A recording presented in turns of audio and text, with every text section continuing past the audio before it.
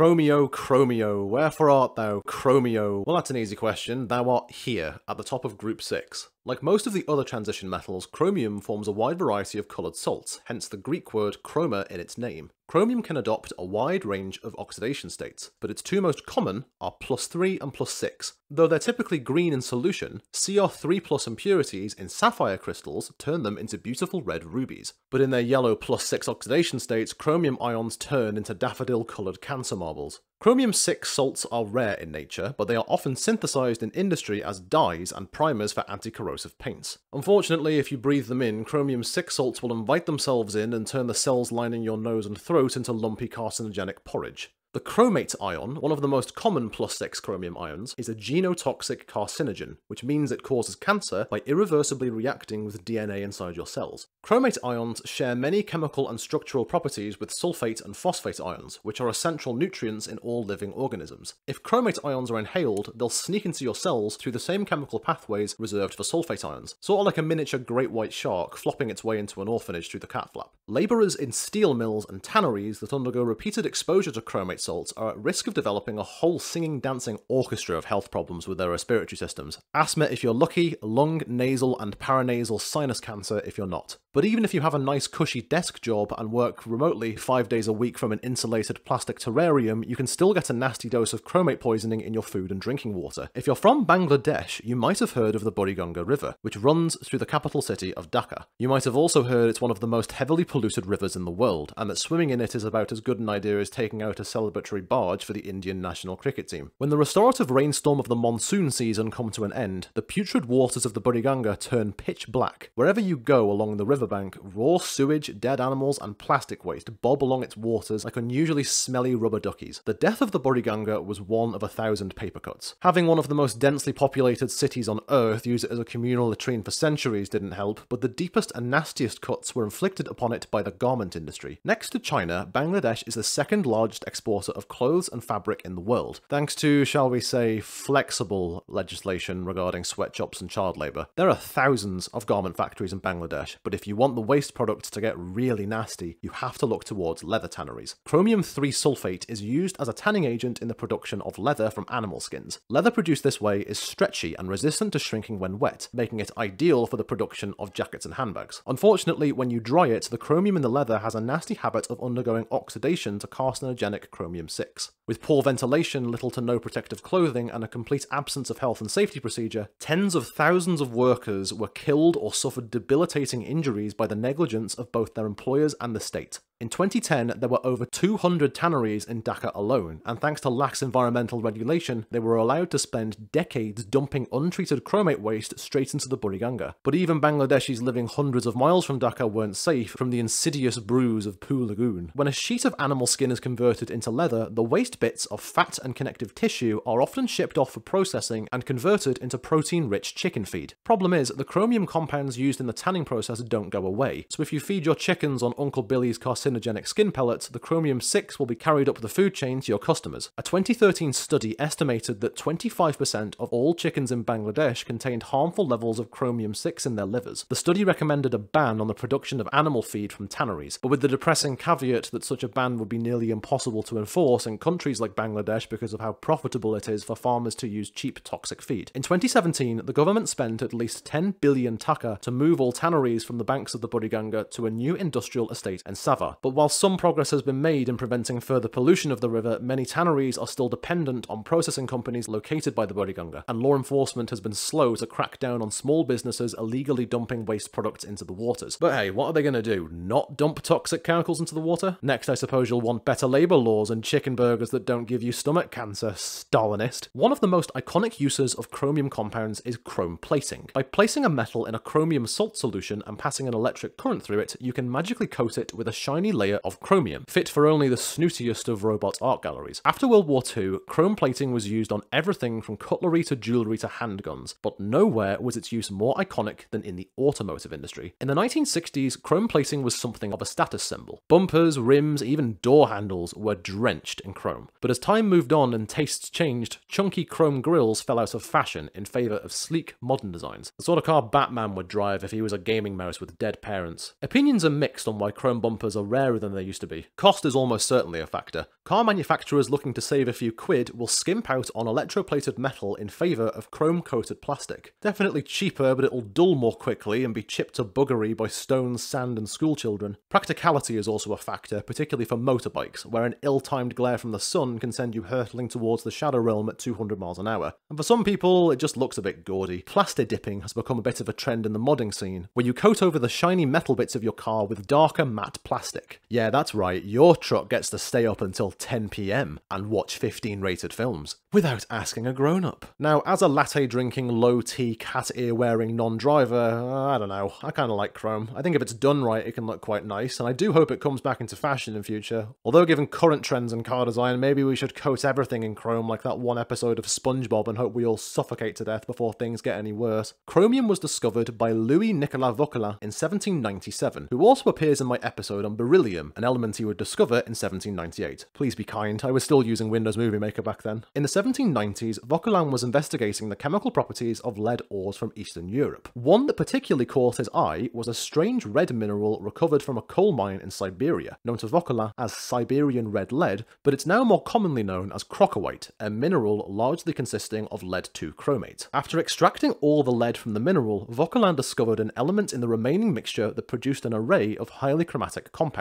Yeah, I can't imagine that took long to name. Vauquelin had discovered two elements by the age of 35, but he didn't spend the rest of his career resting on his laurels. By the time of his death in 1829, Vauquelin had published over 370 scientific papers, discovered a suite of compounds in organic chemistry, including the first amino acid, asparagine, in 1806, and had been elected to some of the most prestigious scientific institutions in the Western world. Not a bad legacy for a mineral that looks like an alien hedgehog that's been mainlining Robinson's summerfruit squash. So that's chromium done. We're officially 20.339% uh, through the periodic table. Not a bad effort for three and a half years, should get that up to a nice round 50 before the end of the century. Despite its prominence in the thumbnail, I didn't get to talk about Google Chrome or how all of Google's products have the capacity for privacy of a fishnet nappy, but Element 24 will ride the highways of the chemical world forevermore, shiny and chrome towards the gates of Valhalla. Now witness me!